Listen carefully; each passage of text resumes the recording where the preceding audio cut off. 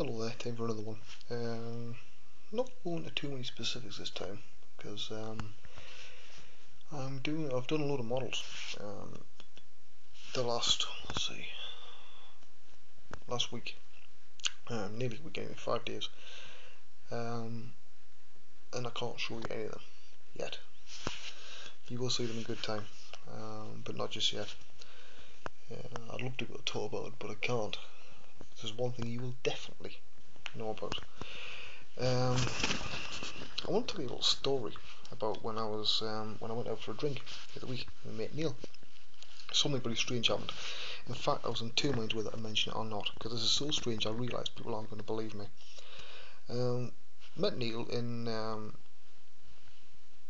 one of the Wetherspoons in Durham.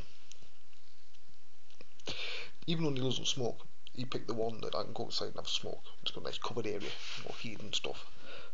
So we sat down there, um, and we had about four pints or something, and I'd had one uh, before he arrived because my dad drove off in the car. So I sat down with my dad and had a pint where he had a sort of soft drink. Um, we had about four drinks, you know, four pints, and um, took our time, you know, have a good good talk and stuff. Um, we had a walk back up to the centre of Durham. We had a, went to another another pub. Um, don't worry, this is going somewhere. Um, not another drink.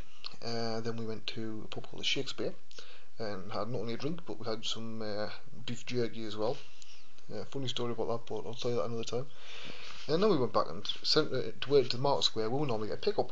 Um, and we thought, oh, it's got to be you know be about time for the pickup now you know, because he was getting picked up at 11, so was I. I met him at um, half past 7.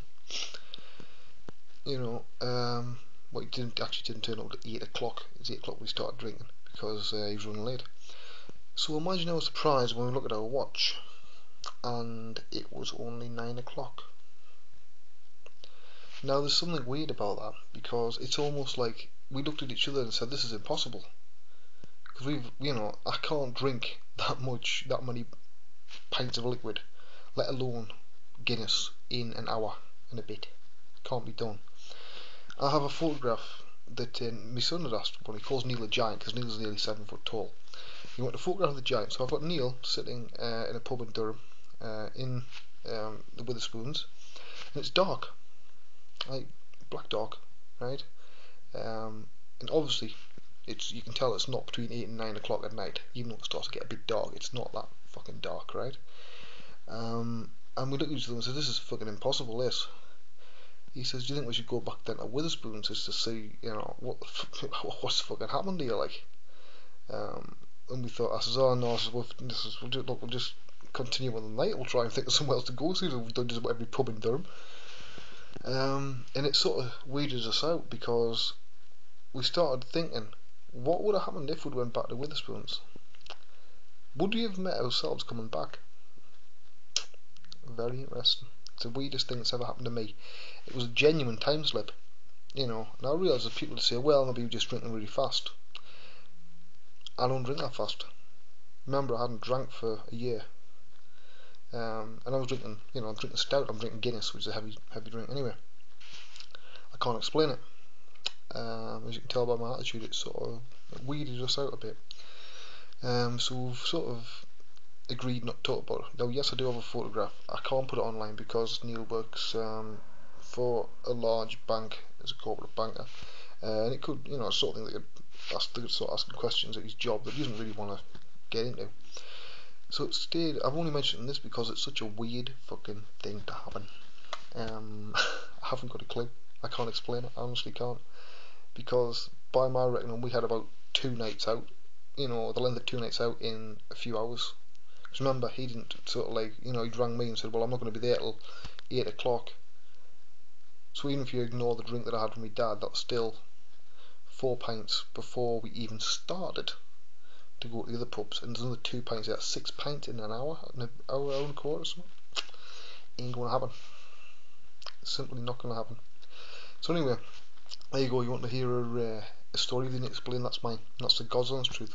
Put my hand on a stack of Bibles, put me, you know, on my son's life.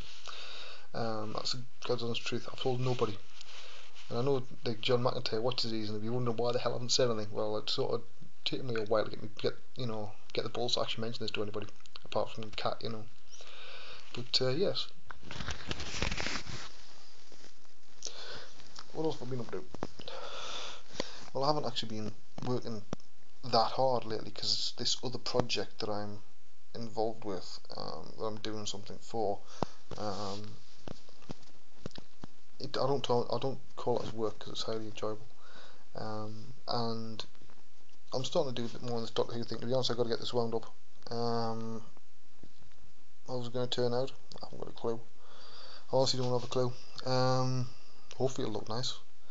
All I can do is do my bit and everyone else does their bit and hope it all comes together in the end. But uh,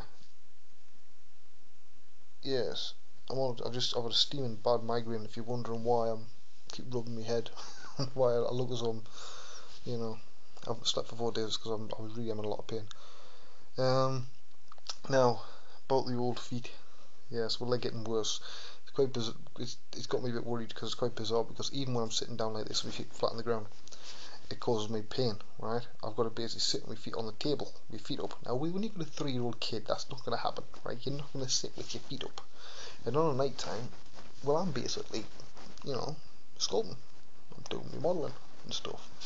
Um, keeping the business running and stuff like that, you know, so I don't get that much of a chance, but I'm going to have to at some point, otherwise I'm, you know, facing all these nasty injections and possibly an operation. I don't really fancy that, you know what I mean?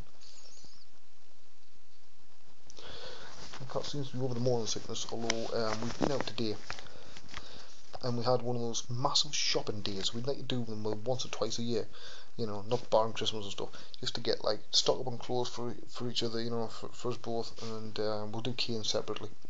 Spent a fair whack of money, bought a new headphone mic, it cost me a fortune, 70 quid, but it sounds absolutely dog's bollocks.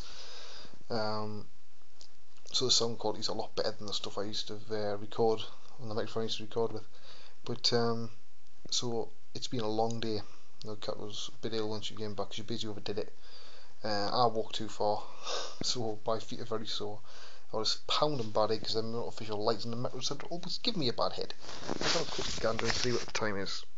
Right, go with three minutes on this one. And I'll do another section. Yes, I'm sort of relaxing a bit tonight. I should be working on the legs character from Doctor Who thing, but uh, to be honest, I just need a night away from it. I really do. I'm seeing Doctor Who stuff, you know, in me, in me dreams and me nightmares at the moment. Because um, I'm having to basically, it's not what I call very rewarding. The bit I'm doing now.